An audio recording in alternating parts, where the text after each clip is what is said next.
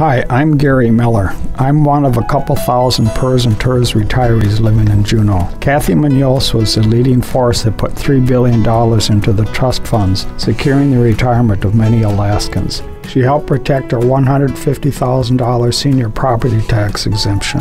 She is also working to expand senior housing. I voted early for Cathy. I hope you vote for Cathy Munoz on November 8th.